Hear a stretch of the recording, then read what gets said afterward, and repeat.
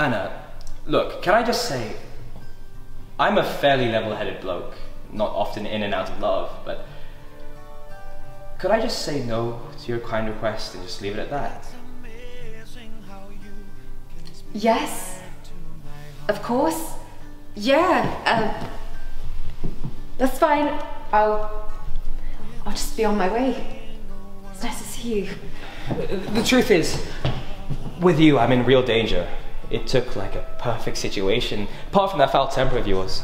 But I feel like my relatively inexperienced heart would not be able to recover if I were once again cast aside, which I fully expect to be.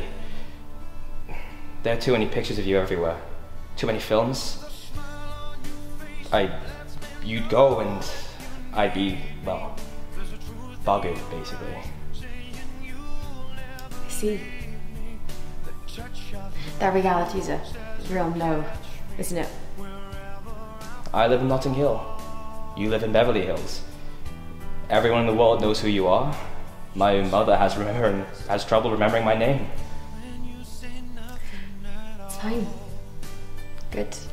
Good. Good decision. The fame thing isn't real, you know.